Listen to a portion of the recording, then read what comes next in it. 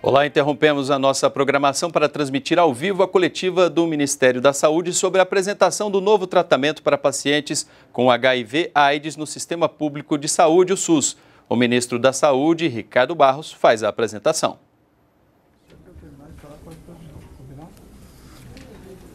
Bom dia.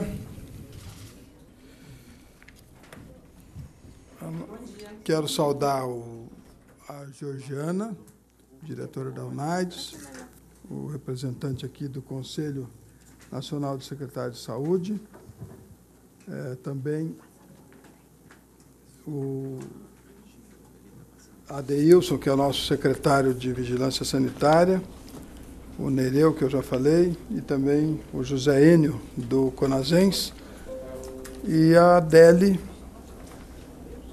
que é a nossa coordenadora do diretor do departamento de STAIDS, que vai fazer a apresentação para vocês. Hoje, nós estamos anunciando o melhor tratamento do mundo por um custo menor. Estamos trocando o protocolo de atendimento da AIDS por um que é o mais avançado do mundo e vamos ainda assim economizar recursos nesta área. Isso é a nossa diretriz para tudo. Então, em todas as áreas, nós vamos buscar o melhor tratamento do mundo pelo menor custo. Então, começamos, depois de uma longa negociação, né, Adélio? Começamos pela AIDS HIV. Tenha a palavra. Obrigada, ministro. E gostaria de agradecer a, o seu pessoal envolvimento nessas negociações, que eu acho que isso é um marco da sua gestão e que faz com que tenhamos sucesso no que diz respeito a termos sempre os menores preços e o melhor tratamento. É, próximo, por favor. É, rapidamente, o panorama da AIDS no Brasil, nós é, ainda, AIDS, nós estamos falando aqui não de HIV, de AIDS, é, é ainda um, um problema. Nós temos uma taxa de detecção que ligeiramente reduziu no, nos últimos 10 anos, entretanto, continua sendo uma taxa relativamente alta de AIDS doença. Ah, nós tivemos uma, uma, uma taxa que reduziu ah, nos, nos, últimos dois anos. Entretanto, nós, em números acumulados, nós temos quase 800 mil casos de AIDS notificados, com uma média de mais de 40 mil casos novos ano. E essa taxa ela, ela é ainda muito importante no que diz respeito ao cuidado. Próximo. A taxa de mortalidade ela tem melhorado porque as medicações também têm melhorado. Um acesso a medicamentos que dão uma melhor qualidade de vida, que propiciem a adesão, faz com que as pessoas passem a utilizar a terapia antirretroviral e, obviamente, é, viverem mais e terem uma melhor qualidade de vida é, essa taxa é, de mortalidade ela tem é, caído, mas nós esperamos ainda mais essa redução com os novos tratamentos. Próximo. Com relação ao número de pessoas em tratamento no Brasil, esse dado é de até agosto de 2014. Nós temos que lembrar que em dezembro de 2013 é, foi tomada a decisão de tratamento para todos. Todas as pessoas, independentemente do seu CD4 ou da sua carga viral, é, têm indicação é, de início de tratamento. E isso, obviamente, fez um incremento do número de pessoas ah, por ano ah, que entraram no sistema e que entraram em tratamento. Ah, hoje, até agosto de 2016, nós temos 483 mil pessoas em tratamento ah, com a terapia antirretroviral, que é de acesso universal desde o ano de 96. Próximo.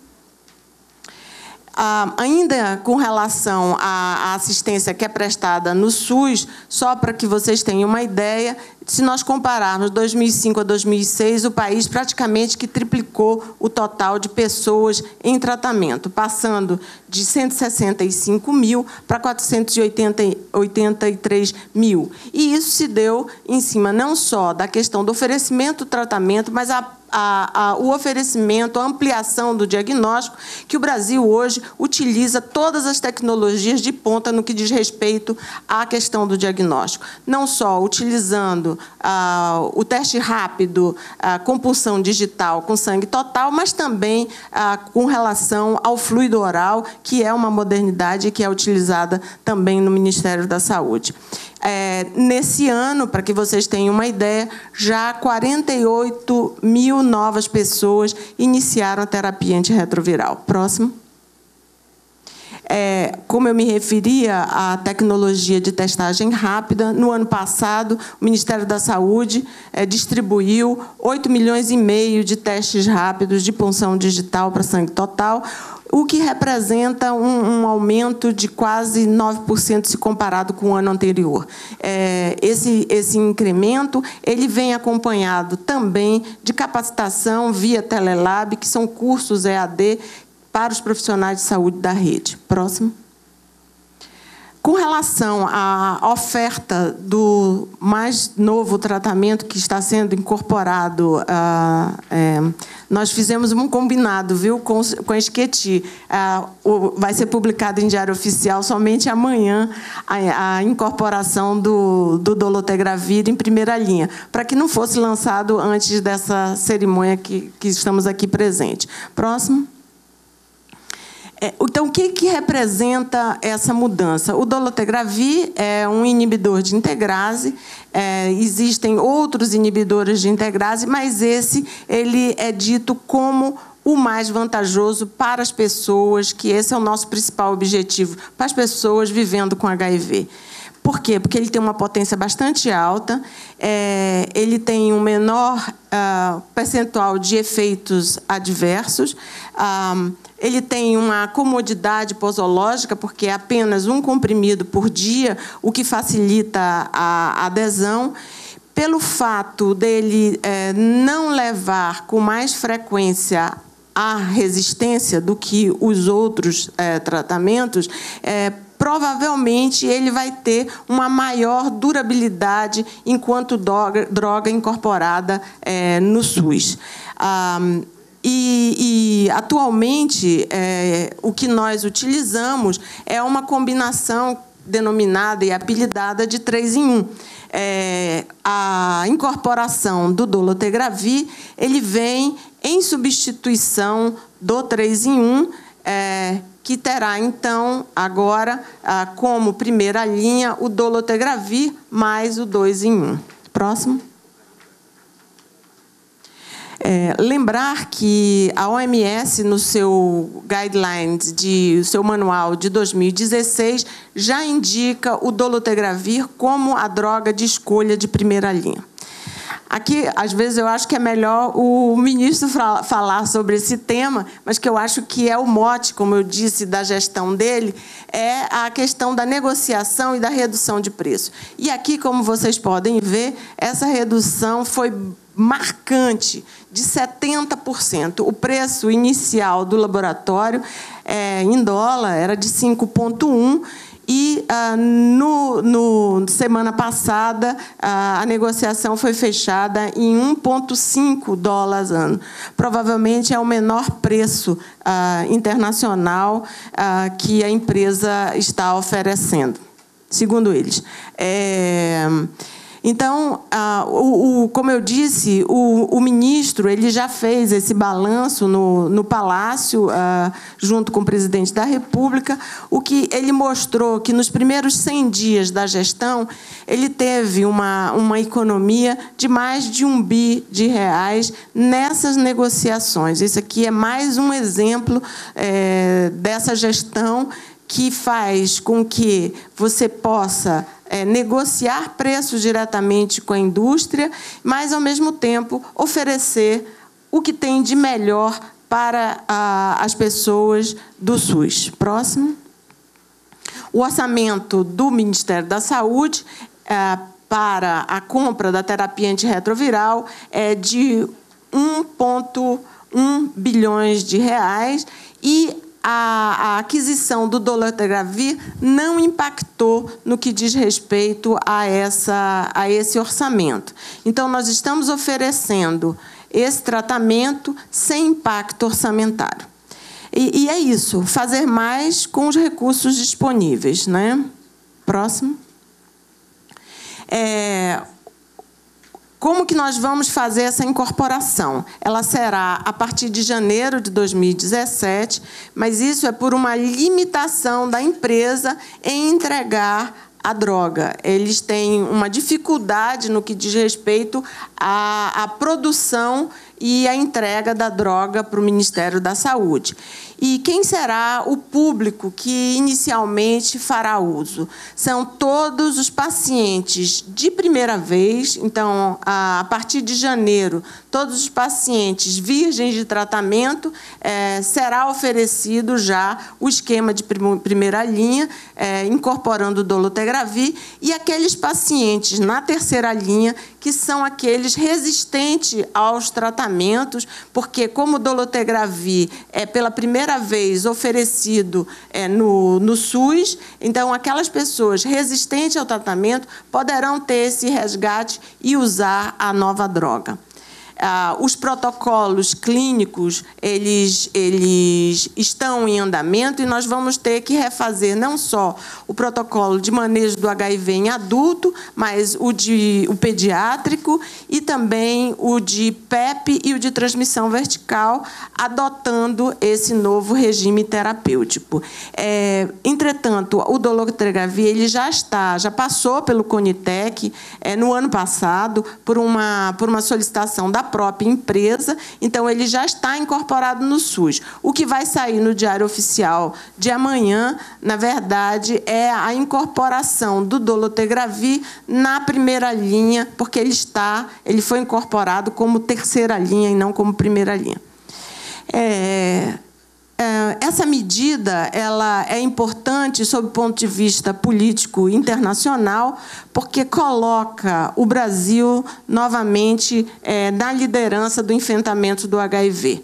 É, e essa afirmação ela se dá pelo fato de que muito poucos países adotaram pelo custo é, essa nova droga. É, essa droga é adotada em países de alta renda é, e também em países onde é, o sistema não é um sistema público e universal. É muito simples você ter é, a prescrição e o próprio paciente ou o seguro de saúde do paciente é que paga a droga. Aqui essa situação ela é bem diferente e por isso eu acho que é, o Ministério da Saúde é, tem tanta visibilidade é, no que diz respeito às, às, às, a, essas, a essas decisões que de alguma forma, conforme os vídeos que vocês vão ver na sequência, eles na verdade são um exemplo. Ah, para outros países. Então, agora nós vamos ver o vídeo do, do doutor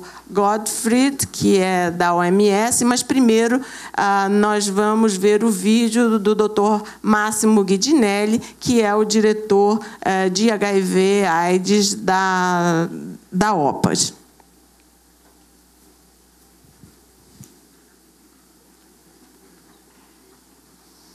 I would like to congratulate the Department of HIV AIDS, STI and Viral Hepatitis of the Ministry of Health Melhor voltar, Regina. for undertaking yet another innovative and pioneering step in their response to the HIV epidemic. The new ARV regimen, just adopted as the preferred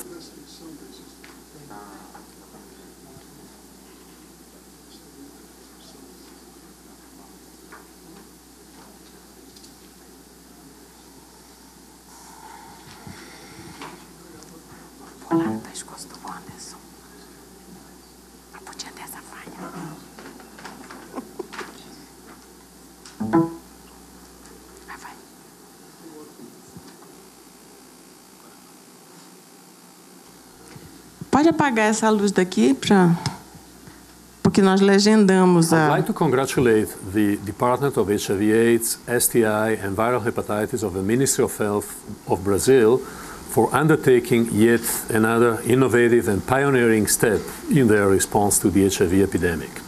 The new ARV regimen, just adopted as the preferred first-line scheme for the treatment of HIV, now includes dolutegravir. This is a new drug an integrase inhibitor that has just been recommended as an alternative in the new 2016 WHO guidelines for public health use of antiretrovirals. Use of this new class of antiretrovirals is already widely recommended by international guidelines and standards in high-income countries, particularly where individualized treatment of HIV is common practice. However, to date, very few mid and low income countries have introduced these new drugs in their armamentarium of their HIV programs. Brazil is now one of those countries as it has raised the public health oriented HIV treatment onto new standards, and these standards are fully supportive of the treat all approach and the vision of ending AIDS by 2030. We applaud the determination and the leadership of the Brazil Department of HIV/AIDS in taking this bold decision, recognizing that this obviously requires major efforts across the spectrum of functions of the HIV program, from the review of national guidelines to negotiation of prices, on to the training and reorientation of public health workers as a whole. Yet another big lesson is being learned about efficiency gains in responding to HIV. We understand that this change to more costly therapeutic op- options happens through optimization of existing investment and doesn't require additional resources. Brazil has been, since the beginning of the response to HIV, one of the leading reference programs for the world and for the region of Latin America and the Caribbean in particular. We fully support the choices of the Ministry of Health, and we share the expectation that there will be significant improvements in HIV treatment outcomes in the country. We also hope that the changes underway in Brazil will actually generate a positive influence on other countries or other national programs in the region that are already considering or will soon consider adopting similar changes in their provision of services. PAHO will continue to work in close partnership with the Brazilian Ministry of Health and ensure that all lessons learned throughout this process will benefit the most the whole of Latin America and the Caribbean. Thank you very much indeed. Muito obrigado e mais felicitações para o Ministério da Saúde.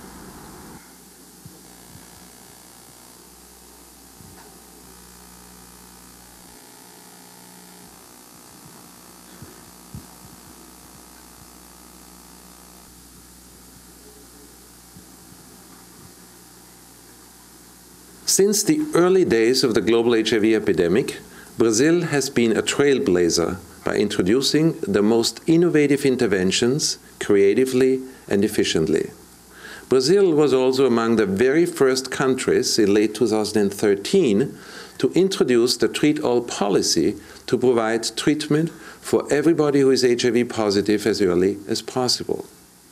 We are happy about today's announcement that Brazil is one of the first countries to introduce dolutegravir, one of the novel treatments, into its national program.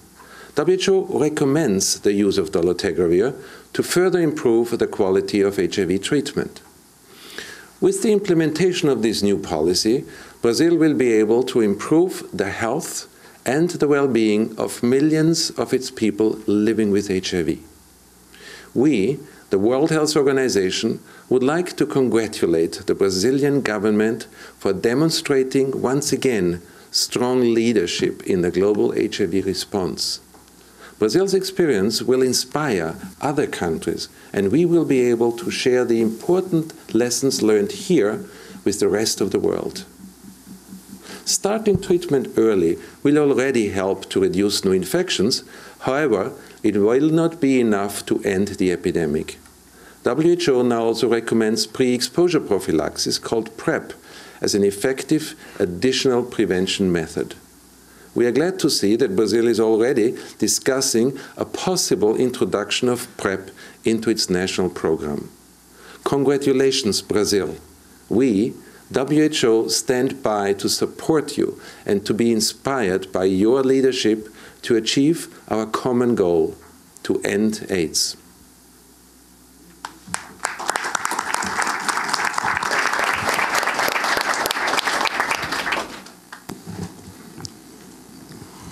Vamos ouvir a Georgiana Braga da Unites.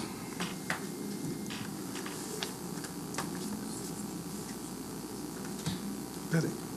Tá Bom dia, bom dia a todos. Gostaria de agradecer o convite de estar aqui num momento tão importante, agradecer ao ministro, representando aqui a mesa. É, é um momento realmente histórico, né, uma demanda que já vinha havido há bastante tempo e que a gente tem que realmente se unir aos colegas e parabenizar o Brasil pela liderança é, nesse momento. O Brasil levou a sério o compromisso do 90-90-90. Né? O NAIDS lançou esse desafio, que foi, inclusive, uma iniciativa que partiu do Brasil e que foi adotada é, internacionalmente, mundialmente. Hoje está na nossa declaração política, que foi fruto da reunião de alto nível de junho de 2016. E o 90-90-90 o que é? Chegar a 90% é testar 90% das pessoas estimadas infectadas, destas colocar 90% em tratamento e dessas conseguir chegar a 90% com carga viral indetectável. Esse objetivo é bastante difícil, a gente sabe, é bastante ousado, mas o Brasil comprou essa briga desde o início. É, a data é 2020 para chegar nesses números e o Brasil, Brasil já começou a chegar ao 90% com inovação, com testes rápidos, com testes de fluido oral, com testes feitos também pela sociedade civil, com pessoas que não eram alcançadas. O Brasil também chegou ao segundo 90, que é o tratar, como foi demonstrado aqui, triplicando o total do número de brasileiros em tratamento nos últimos, em 10 anos.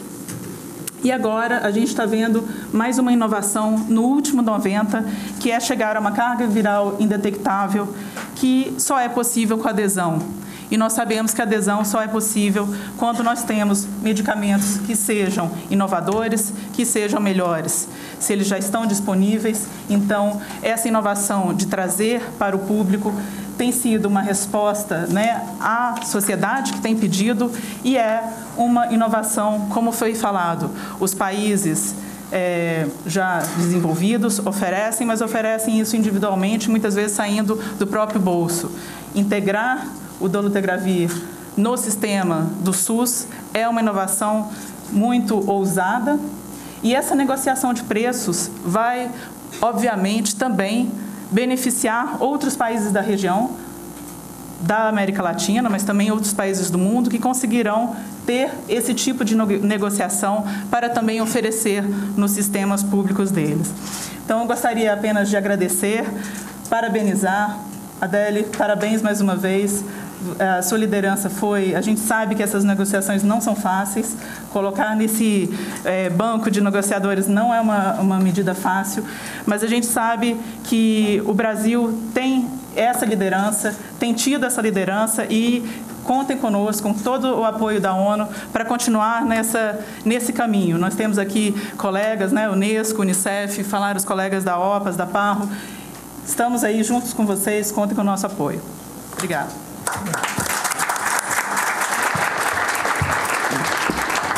Vamos ouvir o secretário Adilson, secretário de Vigilância em Bom Saúde. dia a todas e a todos.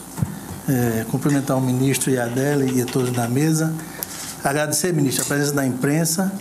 Dizer a vocês que é importantíssimo essa, essa, esse papel de vocês na difusão, na divulgação, para que haja essa adesão que a Georgiana acabou de falar.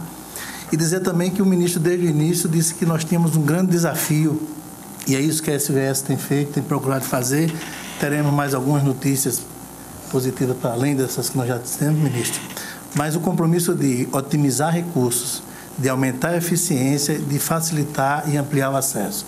Esse é um compromisso que o ministro vem, Ricardo Barros, tem feito isso diuturnamente, tem nos cobrado tem reiterado também seu compromisso do presidente Michel Temer e do Ministério da Saúde, e é dessa forma que A prova disso é a equipe da Adélia, a gente tem também que parabenizar a sua equipe, Adélia, e você, porque isso mostra exatamente esse engajamento e esse trabalho em equipe, que é isso que o ministro tem feito. Então, nós estamos aqui somente para dizer isso, dizer que a SVS está engajada dentro dessa equipe, ministro, no sentido de otimizar, aumentar a eficiência e facilitar o acesso. Muito obrigado.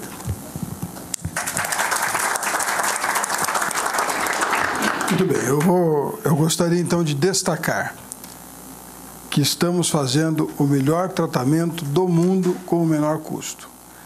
Não era nem para se pensar no momento de tanta restrição orçamentária, ousar buscar mais qualidade no tratamento, sabendo que há um impacto financeiro. Então, se fizéssemos uma conta inicial de 5 dólares e 10 cada comprimido, nem começaríamos a dialogar sobre a possibilidade dessa incorporação, porque o orçamento não permitiria que a gente pudesse alcançar esse objetivo.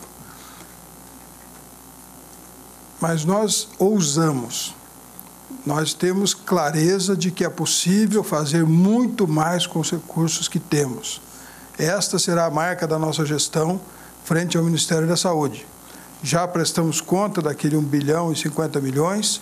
Aqui se não houver variação do dólar, nós ainda temos o IPCA Farma, a correção que está no orçamento previsto e que nós não é, vamos dispor, porque é uma compra em dólar, pode ser mais, pode ser menos, então nós não estamos calculando, mas é, haverá sim, na manutenção do câmbio, um ganho, porque o orçamento previa um aumento, como vocês sabem, nosso orçamento ele está maior este ano, e nós estamos para o ano 2017 e nós economizaremos essa correção. De qualquer maneira, é uma decisão arrojada do Ministério, estamos à frente, uma opção que nós fizemos, porque nós podíamos simplesmente utilizar o nosso poder de negociação e teríamos comprado mais barato o tratamento que estava sendo dado e lançaríamos na nossa conta de economia, né, que está tendo também nessa. Nós estamos gastando menos e fazendo melhor.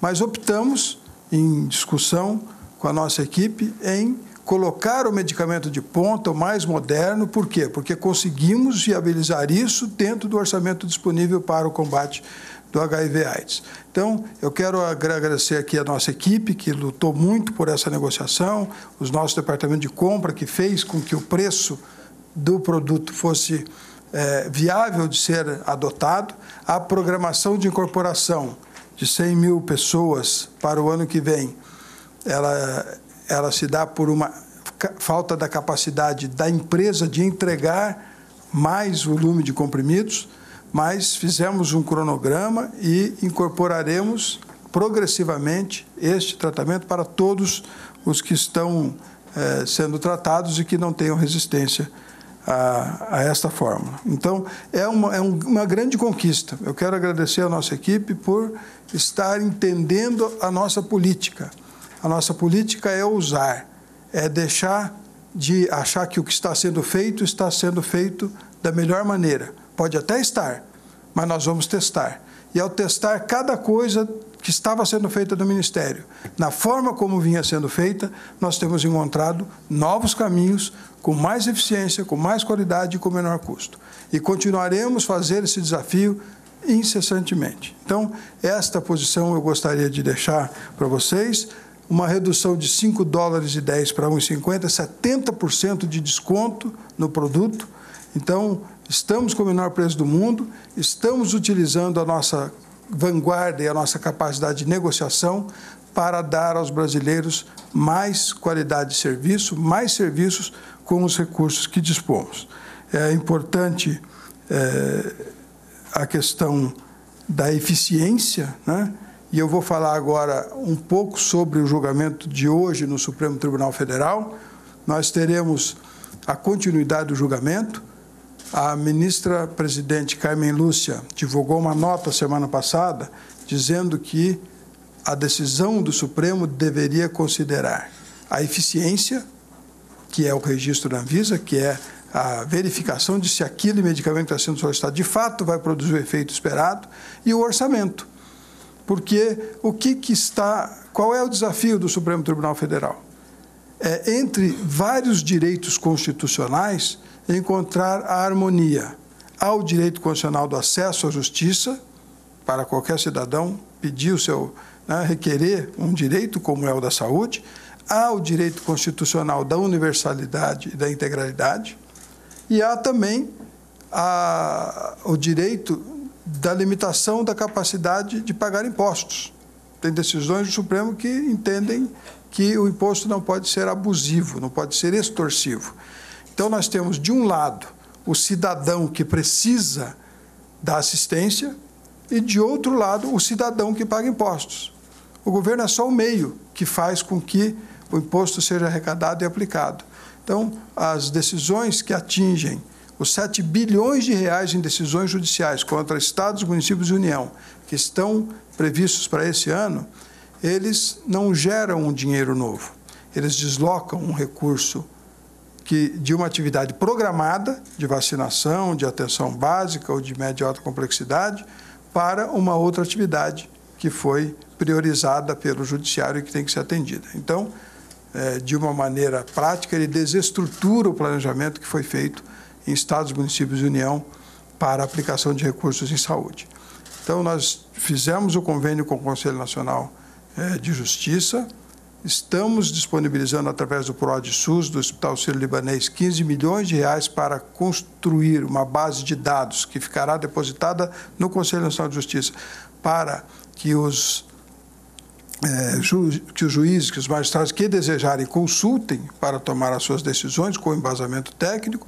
Temos os núcleos né, de assistência tecnológica para que os juízes possam é, entender aquilo que está se pedindo e ter uma assessoria, se desejarem consultar um parecer. São vários núcleos em todo o Brasil, são 19 núcleos disponíveis para consulta dessas pessoas. Então, esse é o parênteses que eu faço em relação a, a, a julgamento do Supremo Tribunal Federal, que, que eu vou repetir, o Supremo tem o desafio né, de harmonizar os direitos constitucionais. Né, acesso à justiça, integralidade, universalidade e limite da capacidade contributiva. São todos os direitos que estão previstos na Constituição e que precisam, mas que se conflitam na hora da, da aplicação. Então, essa é a minha palavra sobre o Supremo. Sobre ainda a questão de hoje. Então, eh, senhores tenham certeza de que a nossa equipe, que ainda estamos formando, não completamos, mas a nossa equipe encarará cada atividade do Ministério como um desafio, como esse que nós enfrentamos.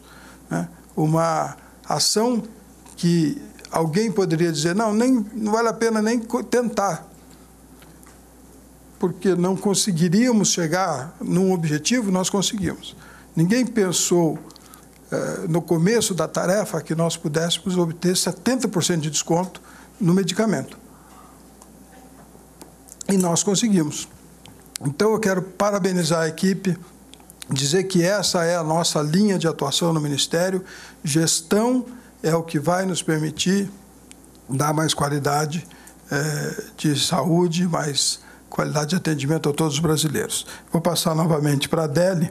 Adele, eu gostaria que você falasse um pouco sobre os resultados desse tratamento, que, que é o, como está a, a carga viral indetectível entre as pessoas que estão fazendo tratamento nesse momento e como há expectativa de que isso mude com o novo tratamento. Uhum. É, bom, inicialmente eu queria agradecer aqui a presença do representante da Unicef, o Gary, que é parceiro da Mariana do Unesco e do Aristide do CDC.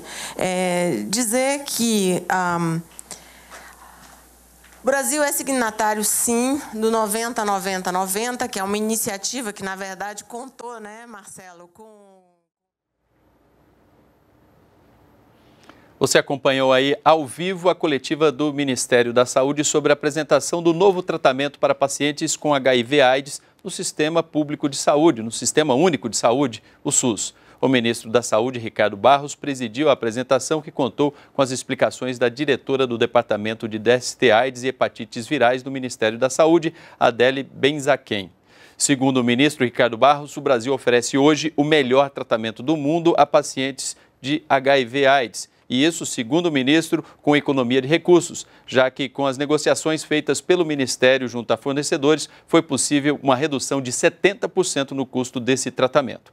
Podemos voltar a qualquer momento com outras informações. Continue com a gente aqui na NBR, na TV do Governo Federal.